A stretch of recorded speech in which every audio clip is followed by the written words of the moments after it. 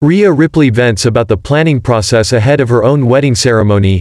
Rhea Ripley was recently a guest at Dominik Mysterio's wedding to his longtime girlfriend Marie Juliette, but it seems that the Judgment Day member has now switched focus to planning her wedding.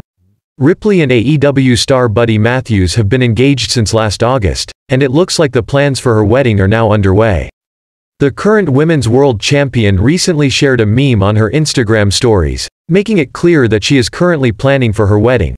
Wedding planning is stressful on its own, but added to the fact that Matthews and Ripley are both on the road constantly with their respective wrestling promotions and the fact that WrestleMania is next weekend makes it a little more stressful. Ripley and Matthews have yet to set a date for their wedding, but it seems mommy could be deep into the planning process.